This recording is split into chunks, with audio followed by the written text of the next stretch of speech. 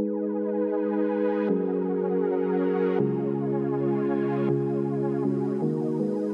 చెందాల్సిన పని లేదు. Here is the one who is worthy alone ఆయన మాత్రమే యోగ్యుడు ఒకడు ఉన్నాడు. అని వధింపబడిన గొర్రెపిల్ల సీన్లోకి రావడం మనం చూస్తాం. ఆ పిక్చర్ని మనము ఆ ప్రకటన గ్రంథాన్ని నాలుగు ఐదు అధ్యాయాలు మనం చదివినప్పుడు మనకు ఆ సీన్ అంతా అర్థమవుతుంది. అంటే మ్యాచ్లెస్ ఇంకెవరు లేరు. అందుకనే ఆరాధన ప్రార్థన కన్నా మిన్న అయినది ఆరాధన కృతజ్ఞత కన్నా మిన్న అయినది ఇంకా మీకు నేను ఎలా చెప్పాలి? ప్రార్థనలో మన అవసరాన్ని తెలియజేస్తాం దేవుడు. చాలా కృతజ్ఞతలో మనకి దేవుడు తీర్చిన అవసరాలను బట్టి చేసిన మేళ్ళను బట్టి ఆయనకు కృతజ్ఞత చెల్లిస్తాం. కానీ ఆరాధనలో ఆయన చేసినా చేయకపోయినా ఆయన ఆరాధిస్తాం. అది ఆరాధన.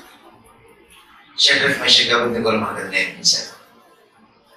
మా దేవుడు మమ్మల్ని రక్షించడకు సమర్థుడు. రక్షింపకపోయినను అది ఆరాధన. Worship does not depend on the goodness that God does to me and to you. Whether God does it or not, worship depends on what He is, who He is. ఆయన నాకు ఏం చేశాడు అన్న దాని మీద ఆరాధన ఆధారపడదు. అది కృతజ్ఞత. ఆయన నాకు చేసినా చేయకపోయినా ఆయన ఏమై ఉన్నాడు అన్న దాని మీద ఆరాధన ఆధారపడుతుంది. మీరు ఎప్పుడైనా సినిమా యాక్టర్ ఫ్యాన్స్ చూసారా? ఏం చేస్తాడు ఆ ఆ మహేష్ బాబు వచ్చేళ్ళకి? ఆ ముక్కు ముఖం కూడా తెలియదు వీళ్ళకి. ఆ మైకిల్ జాక్సన్ వచ్చి ఏం చేస్తాడు వీళ్ళకి? తెలియనే తెలియదు. కానీ ఆ అక్కడ ఒక ఫోటో పెట్టుకొని లేదా సెల్ ఫోన్లో ఒక వాల్ పేపర్ పెట్టుకొని కూర్చుని ఆ మహేష్ బాబుని మైకిల్ జాక్సన్ చూస్తూ ఉంటారు. ఏంటిది? వాళ్ళకి ఎప్పుడు అనిపించలేదా? అరే నాకు ఏం చేయలేదు కదా మహేష్ బాబు. ఏం చెయ్యక్కర్లా? అదే ఆరాధన అంటే. నువ్వు పడిపోతావు అంతే. వాళ్ళని చూసి పడిపోతావు అంతే నువ్వు. పడిపోవడం అంటే ఈ మధ్య ఏదో తోస్తున్నారు పడిపోతున్నారు. అది కాదు ఆ పడిపోవడం కాదు. దేవుణ్ణి ఎవరైతే చూస్తారో ఎవరైతే తెలుసుకుంటారో ఆయన గొప్పతనాన్ని ఆయన అందాన్ని ఆయన సౌందర్యాన్ని ఆయన యొక్క పరాక్రమాన్ని ఆయన యొక్క శక్తి సామర్థ్యాల్ని చూసి పడిపోతా అంతే. అది ఆరాధన ఆరాధన అంటే అచ్చంగా చెప్పాలంటే దేవుని యొక్క యోగ్యతను గుర్తించడం. ఆ యోగ్యత ఇంకెవరికి లేదని గుర్తించడం. అది ఆయనకు మాత్రమే చెల్లు అని గుర్తించడం. అప్పుడప్పుడు మనం ఏమైనా పోలేటప్పుడు నీలాగా ఇంకెవరు చేయలేరురా? ఇది నీకే చెల్లు అంటాం మనం. తెలంగాణ వస్తే మాట్లాడడం నాకు కొంచెం కష్టం. మీకు తెలుగు రాదు. నాకేమో తెలంగాణ రాదు.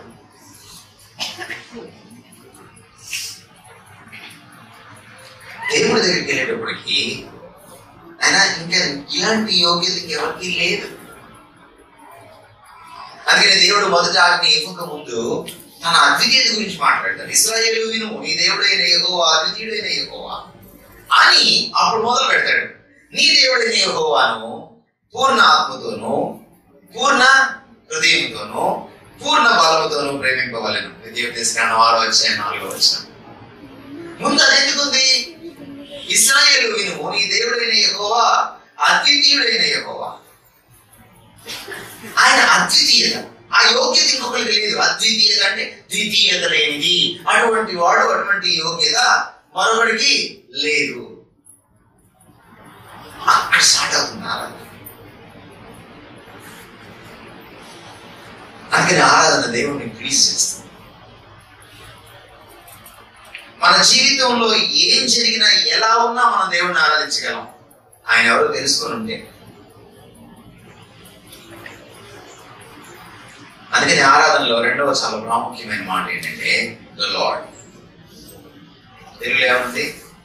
ఎహోవా ఉందా చూడండి ఆ రెండు వచనాలు మీరు చూస్తే పైనుంచి అక్కడ నాలుగు సార్లు నా బైబిల్లో అయితే ద లార్డ్ అనే మాట. తెలుగులో నాలుగు సార్లు ఉన్నాయి యెహోవా ఒకటి నుంచి రెండు దాకా. ఇరవై తొమ్మిది ఒకటి రెండు. ఫోర్ టైమ్స్ ఉందా? రెండు? రెండు ఆయన ఉంది ఓకే. కానీ ఒరిజినల్గా మీరు చదివితే మీరు బైబిల్ చదివినప్పుడు కొన్ని సత్యాలు తెలుసుకోవాలి. ఇంగ్లీష్ బైబిల్ మీరు చదువుతుంటే మీకు ఎప్పుడైనా కంప్లీట్గా లార్డ్ అనే మాట క్యాపిటల్స్లో ఉంటే అది యహోవా అని అర్థం. హీబ్రూ బైబిల్లో యాహ్వే అంటూ ఒకవేళ ఇంగ్లీష్ బైబిల్లో మీకు మొదటి లెటర్ మాత్రమే క్యాపిటల్ ఉండి మిగిలిన మూడు లెటర్స్ ఓఆర్డి స్మాల్ లెటర్స్ ఉంటే అక్కడ యహోవా అనే మాట లేదు. హీబ్రూ బైబిల్లో అని మనం అర్థం చేసుకోవాలి. అదునాయ్ అనే మాట. ఉంది ఏంటి అదునాయ్కి యాహువేకి ఉన్న తేడా? యాహువే ఆయన వ్యక్తిత్వానికి సంబంధించినటువంటి టైటిల్ బిరుదు అదునై ఆయన అధికారానికి సంబంధించిన టైటిల్ బిరుదు ఇక్కడ వర్షిప్ గురించి మాట్లాడుతూ దావీదు పలుసార్లు మెన్షన్ చేసిన నాలుగు సార్లు మెన్షన్ చేసిన మాట ఈ యాహ్వే అందుకని తెలుగులో యహోవా అని వాడడం జరిగింది. తెలుగు బైబిల్స్లో మీకు ఎలా ఉంటుందంటే ఇక్కడ capital letters L O R D హీబ్రూలో Yahweh అని అంటే తెలుగులో యహోవా అని. ఇక్కడ స్మాల్ లెటర్స్ ఎల్ఓఆర్డి హీబ్రూ బైబిల్లో అదనాయ్ అంటే తెలుగులో ప్రభువు అని ట్రాన్స్లేషన్ చేస్తారు. ఎందుకంటే దాని అధికారానికి సంబంధించింది. ఆ వర్షిప్ దేనికి సంబంధించింది? ప్రాథమికంగా worship it belongs to the person of God Yahweh దేవుని వ్యక్తిత్వానికి ఆయన పేరుకు ఆయన నామానికి సంబంధించి అందుకని ఇంత పిల్లలు పాడిన పాట bless the Lord O my soul అని పాడుతూ వాళ్ళు ఏమన్నారు? ఎవరిని బ్లెస్ చేయాలంట? ద హోలీ నేమ్ ఆఫ్ మనకి పేరంటే అదేదో కాబట్టి సౌండ్ మనకి పేరెంట్ బైబిల్లో పేరంటే సౌండ్ కాదు. బైబిల్లో పేరు అంటే వ్యక్తి అందుకే మోష ఎదుట దేవుడు నా నామమును ప్రకటించును అని చెప్పిన తర్వాత ఆయన వ్యక్తిత్వాన్ని మోష చూశాడు. ఎగో అనే లెటర్స్ చూడాల. ఆకాశంలో పోతుంటే మనం అప్పుడప్పుడు హైదరాబాద్లో పోతుంటే కొన్ని లెటర్స్ పోతా ఉంటాయి. డిజిటల్ దీంట్లో. అది కాదు. అందుకని వర్షిప్ దేంతో ముడిపడి ఉందంటే దేవుని వ్యక్తిత్వంతో ముడిపడి అది చాలా ప్రాముఖ్యమైన విషయం. ఎవరికైతే ఈ దేవుణ్ణి వ్యక్తిగతంగా తెలుసుకుంటారో వాళ్ళే దేవుణ్ణి యథాతథంగా ఆరాధించవలసిన రీతిగా ఆయన ఆరాధిస్తారు. బయట ఆరాధనకు ఇక్కడ ఆరాధనకు తేడా అదే. యేసుక్రీస్తు వారు సమరయ స్త్రీతో అన్నట్టుగా అమ్మ మీరు తెలియని దాన్ని మీరు ఆరాధిస్తారు. మేము తెలిసిన దాన్ని ఆరాధిస్తామని సమరయ చెప్పాడు. నాలుగో అధ్యాయం యోహాన్ స్వార్థ యేసుక్రీస్తు వాళ్ళు తెలియని దాన్ని ఆరాధిస్తారు. వాళ్ళు ఆరాధిస్తున్నారు ఎవరినో కానీ వాళ్ళు ఎవరిని ఆరాధిస్తున్నారో వాళ్ళకి తెలియదు. కానీ ఇక్కడ మనం ఎవరినైతే ఆరాధిస్తున్నామో ఇది తెలుసుకోకుండా మనం ఆరాధిస్తే అది సత్యంతో ఆరాధించినట్టు కాదు. మీరు ఎంత ఆత్మపూర్ణంగా ఆలో- ఆరాధించినా ఆ ఆ- ఆరాధనలో సత్యం ఉండదు. ఆరాధించేవాడు ఆత్మతోనూ సత్యముతోనూ ఆరాధించాడు. దేవుడు ఏమై ఉన్నాడో దాన్ని యథాతథంగా తెలుసుకుని దానికి తగ్గట్టుగానే ఆయన ఆరాధించాలి. ఏమిటి అలా ఆరాధించడము? దావీదు చెప్తున్నాడు ఆయన ఏమై ఉన్నాడో ఆయన మహిమ ఎలాంటిదో ఆయన ప్రభావం ఎలాంటిదో ఆయన ఔన్నత్యం ఆయన గోపతనం ఎలాంటిదో ఎరిగి తెలుసుకొని దానిని ఆయనకు మళ్ళీ చెల్లించండి. అంటే ఎంత తగినదో ఎంత మహిమ ఆయనకు తగిందో అంత మహిమ ఇవ్వండి. ఎంత ఘనత ఆయనకు తగిందో అంత ఘనత ఇవ్వండి. ఎంత గౌరవం ఆయనకు తగిందో అంత గౌరవాన్ని ఇవ్వండి. అందులో అందుకని ఇంగ్లీష్ ఏముండదంటే చూడండి నేను చదువుతాను మీకోసము. Give unto the the glory glory due to his name it is a due. ఆయనకు చెందవలసినది. అంటే నేనేదో దేవుణ్ణి గొప్పగా ఊహించుకొని నేను దేవుణ్ణి ఆరాధించను. అక్కడ వాళ్ళు ఏం చేస్తారంటే పక్షుల్ని తర్వాత జంతువుల్ని కూడా గొప్పగా ఊహించుకొని వాటిని ఆరాధిస్తారు. చెట్లని పుట్టల్ని కూడా గొప్పగా ఊహించుకొని ఆరాధిస్తారు. మీ తెలంగాణలో రకరకాల అమ్మలు ఉంటారు కదా? అది మా మా ఆంధ్రలో కూడా అలాగే తలుపులమ్మ నూకాలమ్మ ఇట్లా రకరకాల అమ్మలు ఉంటారు. అసలు ఆమె ఎవరు? ఆ, ఒక ఫేస్ కూడా ఉండదు సరిగా.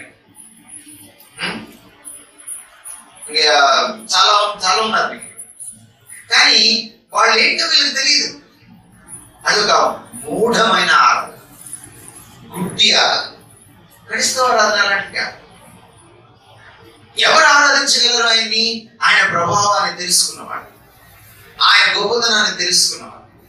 అందుకని ఆరాధనకు దేవుడిని సన్నిహితంగా తెలుసుకోవడానికి అర్థాభావ సంబంధం చాలా దగ్గర సంబంధం ఉంది. చాలా ఇంపార్టెంట్ అది. ఎవరు ఆదివారాన దేవుడిని సరిగా ఆరాధించగలుగుతారు సోమవారం నుంచి శనివారం దేవుడితో గడిపిన వాళ్ళు మాత్రమే ఆరాధించగలుగుతారు. దేవుడిని ఎరిగిన వాళ్ళు మాత్రమే. తమ జీవితంలో కష్టాలు కడగండ్లు వచ్చినప్పుడు ఆయన సన్నిధిని అనుభవించినవాడు. ఆయన కృపను ఆస్వాదించినవాడు. ఆయన గొప్పతనాన్ని రుచి చూచినవాడు. వాళ్ళు మాత్రమే ఇక్కడ ఆరాధించగలుగుతారు. అందుకని ఆరాధనకు ఆయన వ్యక్తిత్వానికి చాలా అద్భుతమైన అవినాభావ విడదీయలేని సంబంధం. అందుకని ఆ మాట చాలా ప్రాముఖ్యమైంది. ఆరాధన తర్వాత ఆ మాట ద లార్డ్ యెహోవా ప్రభువు వ్యక్తిని ఆయన వ్యక్తిత్వాన్ని ద పర్సన్ ఆఫ్ గాడ్ మనం అర్థం చేసుకోవాలి. ఒకవేళ అలా అర్థం చేసుకోకుండా ఆరాధన చేస్తే అది తక్కువ చేసిన వాళ్ళ అవుతాం అందుకని ఈరోజు దేవుడిని ఆరాధించే పేరిట వాళ్ళు అవమానిస్తున్నారు. ఎందుకు దేవుడు విగ్రహారాధనని ఏం చేస్తాడు? ఎందుకు విగ్రహారాధనని ఆయన ఆధ్యాత్మిక వ్యభిచారంతో పోల్చాడు పాత నిబంధనలో? ఎందుకు ఆయనకి అంత కోపం విగ్రహారాధన అంటే? ఎప్పుడైనా ఆలోచించారు? కొన్ని కొన్నిసార్లు నెగిటివ్ అర్థమైతే పాజిటివ్ అర్థం అవుతుంది. ఎందుకు దేవుడు అంత అసహించుకున్నాడు విగ్రహారాధన విగ్రహారాధన దేవుడు ఏది కాదో దాన్ని దేవుడు అంటుంది. ఆరాధన దేవుడు ఏంటో దాన్నే గుర్తించి దాన్నే ఆరాధిస్తుంది గౌరవిస్తుంది. అది తేడా విగ్రహారాధనకి ఆరాధన. భర్త కాని వాడిని భార్య భర్త అంటే భర్తకి ఎలా ఉంటుంది?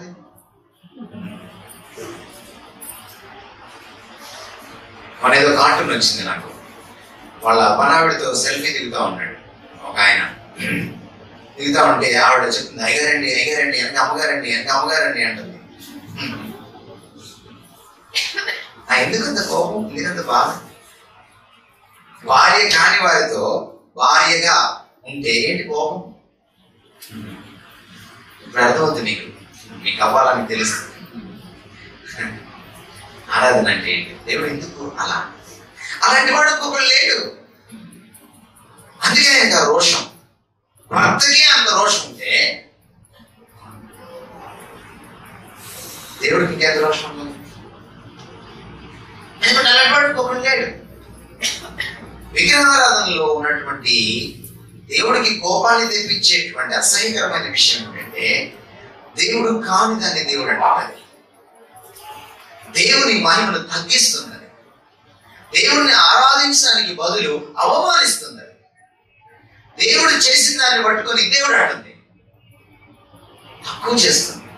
మిమ్మల్ని తక్కువ చేస్తే మీరు ఎలా ఫీల్ అవుతారు? మిమ్మల్ని ఏం చేయకపోయినా మీరే ఫీల్ అవ్వరు కానీ? మిమ్మల్ని పొగడకపోయినా మీరు ఫీల్ అవ్వరు కానీ? తక్కువ చేస్తే మటుకు నేను చాలా ఫీల్ అవుతారు. ఆరాధన దేవుని సెల్ఫ్ డిగ్నిటీకి సంబంధించింది. ప్లీజ్ అండర్స్టాండ్ దిస్ మనకున్న ఆత్మగౌరవం కంటే మనల్ని మనం గౌరవించుకునే దానికంటే ఆయన అనంతమైన గౌరవం కలిగిన వాడు. ఆయన సెల్ఫ్ అనంతమైనది ఆయన లాంటి వాడు మరొకడు లేడు. ఆయన సెల్ఫ్ అద్వితీయమైనది అందుకని నాలాంటి గౌరవం మీరు జాషువానికి ఇవ్వచ్చు తప్పేం లేదు కానీ దేవుడికి ఇచ్చిన గౌరవం ఎవరికి మీరు ఇవ్వడానికి లేదు ఆ స్థాయి గౌరవం. అది ఆరాధన. The highest form of honour the height of honour గౌరవంలో అత్యంత ఉన్నతమైనది. ఎందుకంటే ఆయన అత్యంత ఉన్నతమైన వాడు. అది కేవలము ఇక్కడ ఇక్కడ మాత్రం చెల్లించేది కాదు. అందుకే ఊరు చూస్తూ ఉంటే ఐ జర్న్ విత్ నాస్టాలజిక్ ముప్పై నాలుగు సంవత్సరాలు వెనక్కి వెళ్ళాను. నేను ప్రభుని అంగీకరించింది మా church BBS so that was in eighty three so ఒక ఇన్సిడెంట్ నాకు బాగా గుర్తు అనమాట బీబీఎస్ లాస్ట్ డే బీబీఎస్ అంటే ఇలాగే నాకు అనిపించింది ముప్పై నాలుగు సంవత్సరాలు మనం ఏం మారలేదని. బీబీఎస్ డే వచ్చింది. పిల్లలందరూ సాక్ష్యాలు చెప్తున్నారు. చాలా పెద్ద చర్చి సో మార్మల్స్ పొందిన వాళ్ళలో నేను కూడా ఉన్నాను. ప్రొటీజేకి కథ వినడం వల్ల ఆ, రోజు దేవుడు నన్ను పట్టుకున్నాడు మార్మల్స్ పొందాను నాది నిజమైన మార్మల్స్ సాక్ష్యం కూడా నిజమైన సాక్ష్యం. అయితే నా పక్కన ఇంకొక నా క్లాస్మేట్ కూర్చున్నాడు. ఇంకా మా సాక్ష్యాలు రాలేదు. వాళ్ళ నాన్న వెనక నుంచి వచ్చాడు మేము ఆల్మోస్ట్ లాస్ట్ నుంచి థర్డ్ రోలో కూర్చున్నాం. పెద్ద చర్చ్ అది. ఆ వెనక డోర్ నుంచి వచ్చాడు ఆయన. వచ్చి అరే ఏం వాక్యం చెప్తున్నావు? అన్నాడు. వాడు కూడా సాక్షి చెప్పాలి నాతో పాటు. అంటే వాక్యం ఏం లేదు డాడీ నేను ఆల్మోస్ట్ ఉందని కదా నేను చెప్తాలే అన్నాడు వాడు. అట్లా కదా వాక్యం చెప్పాలి కదా అన్నాడు. ఆయన ఆ, మామూలుగా పర్సనల్ ఏంటంటే వాకింగ్ చెప్పకపోతే దానికి విలువ లేదనమాట ప్రజలకు వాకింగ్ తగిలించాలి. సో వాడు పర్లేదులే డాడీ అన్నాడు. మళ్ళీ అంటే లేదు రా అని తీసుకెళ్ళాడు వాడిని. తీసుకెళ్ళి మళ్ళీ వాడు ఒక పది నిమిషాల వచ్చి కూర్చున్నాడు. ట్రైనింగ్ అయిపోయింది. తీరా సాక్ష్యం చెప్పడానికి వచ్చినప్పటికి వాడు వేరే సాక్ష్యం చెప్పాడు. ఏంటో అలా చెప్పావు? అన్నాను నేను మా నాన్న ఒప్పుకోవట్లేదు రా అన్నాడు. నాకు ఈరోజు నచ్చింది ఏంటంటే పిల్లలు చాలా స్పాంటేనియస్గా మాట్లాడారు. చాలా సహజంగా మాట్లాడారు. I praise God for that వాళ్ళని మాట్లాడి వాళ్ళు అలానే. మీరు మాటల విషయంలో వాళ్ళకి ట్రైనింగ్ ఇస్తే ఇవ్వండి. వాక్యం ఎలా చదవాలో ట్రైనింగ్ ఇస్తే ఇవ్వండి. ఎలా కూర్చోవాలో దేవుని సన్నిధిలో ట్రైనింగ్ ఇస్తే ఇవ్వండి. కానీ స్కూల్స్లో రాసిచ్చినట్టుగా పెర్ఫార్మెన్స్ అప్పుడు రాసేవారు వాళ్ళు వాళ్ళని మాట్లాడటం సహజత్వాన్ని దేవుడు ఇష్టపడతాడు. అదే అదే సహజత్వాన్ని కూడా ఆయన ఆయన సన్నిధిలో ఆరాధించడం ఇష్టపడతాడు. నేను ఐ వాజ్ వాండరింగ్ అంటే ఈరోజు ఈ చర్చ్కి వస్తానని నేను అనుకోలేదు. నాకు రాత్రి దాకా డౌట్ఫుల్గానే ఉంది. సో నేను I was wandering sitting in the car ముందు కూర్చొని ఏం మాట్లాడాలి ప్రభు అని అడుగుతా ఉన్నాను. సో ఫైనల్లీ ఇక్కడికి వచ్చిన తర్వాత God gave me the message మీ చర్చ్లో ఆ పైన రాసిన వచనాన్ని చదువుతారా ఒకసారి. రైట్ తెలుగులో చెప్తారా? బైబిల్స్ తీయకుండా ఆ వచనాన్ని?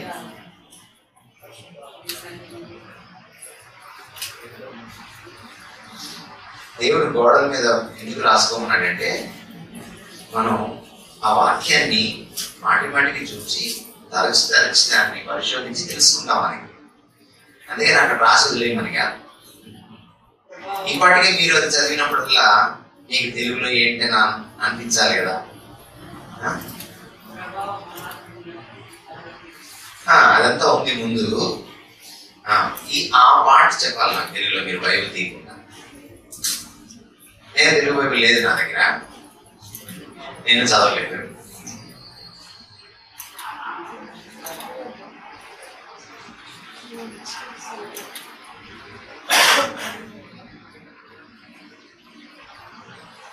తెలుగులో కొంచెం భిన్నంగా ఉంది అందుకే అడుగుతున్నా. చదువుతారా తీసి? అదంతా ఆ పార్ట్స్ అంతా. మీరు ఆ పాట దొరుకుతుందో లేదు చూద్దాం.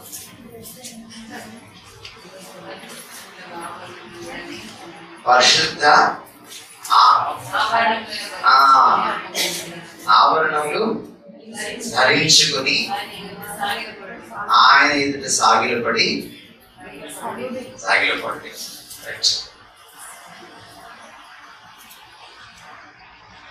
అంటే అలంకారయుక్తంగా రాశాడు కీర్తనకారుడు in the beauty of holiness ఈరోజు మీకు ఆ వచనాన్ని నేను ఎక్స్పాండ్ చేయాలని అనుకుంటా ఉన్నాను నాకు బైబిల్లో చాలా ఇష్టమైన వచనాల్లో ఇది ఒకటి. దాదాపుగా ట్వంటీ టూ ఇయర్స్ బ్యాక్ ఇదే వచ్చిన మీద మా చర్చిలో మాట్లాడాను. మళ్ళీ ఇప్పుడు మాట్లాడుతున్నాను. బహుశా నా గుర్తుండి ఈ వచ్చిన మీద ఒక మెసేజ్ నేను సెకండ్ టైం ఇస్తున్నాను ఇరవై ఏళ్ళ తర్వాత. కొన్ని మాటలు చాలా ప్రాముఖ్యమైన మాటలు. మొదటి చాలా ప్రాముఖ్యమైన మాట ఓషిప్ తెలుగులో చాలా చక్కగా ట్రాన్స్లేట్ చేశారు. సాగిపోవడి అని ఆ తర్వాతి మాట లార్డ్ అండ్ మూడవ మాట హోలీనెస్ ఈ మూడు మాటలు చాలా లోతైన మాటలు. బైబిల్ని మనం చదివితే మీకు నేను అవసరం వచ్చినప్పుడు హీబ్రూలో కూడా నేను చదివి వినిపిస్తాను. I was reading the Hebrew also ఇందాక కూర్చొని.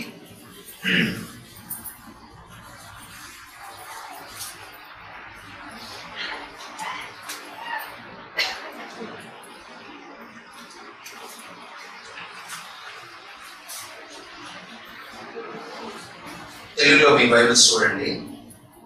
నేను అదే వచనాన్ని ఇరవై తొమ్మిది రెండు నేను చదువుతా ఉన్నాను. హబు యాక్వే కెబౌద్ సెమావు. ఇస్తా హబు యాక్వే బెహద్రత్ ఖుదేష్. ఎందుకు లోతుగా వెళ్ళాల్సి వస్తుంది అనేది మీకు నేను మాట్లాడే కొద్ది మీకు అర్థమవుతుంది. ఇంకొక మాట కూడా ఇక్కడ ఉంది హీబ్రూ బైబిల్లో తెలుగులో ఉన్నదో లేదో అది ఇంగ్లీష్లో ఉంది హబు సో ఈ మాటలు చాలా ప్రాముఖ్యమైనవి. అప్పుడే మనకి ఆరాధన అంటే ఏంటో అర్థమవుతుంది నా ఆరాధనలో చాలా ప్రాముఖ్యమైన విషయం ఏమిటంటే తెలుగు అంటే ఇంగ్లీష్ ఆరాధన అనే పదం అంత గొప్ప పదం కాదని కొంతమంది అంటున్నారు. బట్ ఇంగ్లీష్ um, లో ఆ పదం ఎలా వచ్చిందంటే వర్త్షిప్ నుంచి వచ్చింది. It is a combination of two words worship is worthship అంటే యోగ్యతను గుర్తించి ఒక గొప్పతనాన్ని గుర్తించి ఆ గొప్పతనానికి అనుగుణంగా రియాక్ట్ అవ్వడమే ప్రతిస్పందించడమే ఆరాధన అంటే ఎవరినైతే మనం ఆరాధిస్తున్నామో వారి ఔన్నత్యాన్ని వారి గొప్పతనాన్ని మనము తెలుసుకొని గుర్తించి దానికి తగ్గ గౌరవాన్ని వాళ్ళకి ఇచ్చినప్పుడు ఆరాధన అవుతుంది. తెలుగులో చదవండి ఇరవై తొమ్మిదవ అధ్యాయము. అక్కడ కీర్తనకారుడు అంటున్న మాట దావీదు కీర్తన ఇది. ఆ, మాట ఉందా? ఎహోవా నామమునకు చెందవలసిన ప్రభావమును ఆయనకు ఆరోపించండి. మనం తెలుగులో సాధారణంగా ఆరోపించడం అంటే ఎవరి మీద కంప్లైంట్ చేయడం అనుకుంటాం అది కాదు ఆరోపించడం అంటే. అంటే ఆయనకి ఇచ్చి వేయాలి. ఆయనకి చెందవలసింది ఆయనకి ఇచ్చి వేయాలి. అంటే ఇంకా చెప్పాలంటే ఆరాధన చెందవలసినది. ఎవరికి చెందవలసింది? ఎప్పుడైనా బస్ స్టాండ్ లోనో లేకపోతే ఎక్కడైనా చర్చ్ లోనో లేదా మీరు ఏదైనా ఒక బుక్ మర్చిపోయినా ఒక బ్యాగ్ మర్చిపోయినా లేదా కీ చైన్స్ మర్చిపోయినా ఇవి ఎవరు అని అడుగుతారు? అవును సార్. కదా? ఒకసారి ఒక పెద్ద కాన్ఫరెన్స్లో ఒక ఐదు వందల రూపాయలు నోట్ పోగొట్టుకున్నాను. పోగొట్టుకుంటే అది చూపించాను అనమాట చూపించి ఇది ఎవరిది అని అడిగారు. అంటే ఎవరు ఎట్లా చెప్తారు? పాపం యథార్థవంతులు అయితే పర్లేదు కానీ భారతదేశం ఎలా ఉంటుంది? అందరూ నాది అనొచ్చు అందుకని ఆయన ఏమన్నాడంటే ఎవరైనా వచ్చి ఈ నోటు మీద నెంబర్ చెప్తే నేను వాళ్ళకి ఆ నోట్ ఇచ్చేస్తాను అన్నాడు. చాలా కష్టం కదా? ఆ నోటు మీద నెంబర్ ఎవరు చూడరు? ఆరాధన ఏంటంటే అది it belongs to God and గాడ్లో ఆయనకు చెందవలసినది ఆ విషయాన్ని మనం అర్థం చేసుకోవాలి. కృతజ్ఞత మీరు ఎవరికైనా ఇవ్వచ్చు నో ప్రాబ్లం ఈవెన్ విన్నపము మీరు ఏ అధికారి దగ్గరికి వెళ్ళి మీరు వినతి పత్రం సమర్పించుకోవచ్చు. Prayer can be done to any one thanksgiving can be done to any one but when it comes to worship ఆరాధన దగ్గరికి వచ్చేటప్పటికి ఇట్ ఈస్ ఎక్స్క్లూసివ్ అది కేవలము కేవలము దేవుడికి మాత్రమే చెందవలసినది. అందుకనే వర్షిప్ ఈజ్ వర్షిప్ అంటే ఆ వర్త్ ఆ యోగ్యత కేవలము ఆయనకే ఉంది అని బైబిల్ చెప్తాం అది దాని అర్థం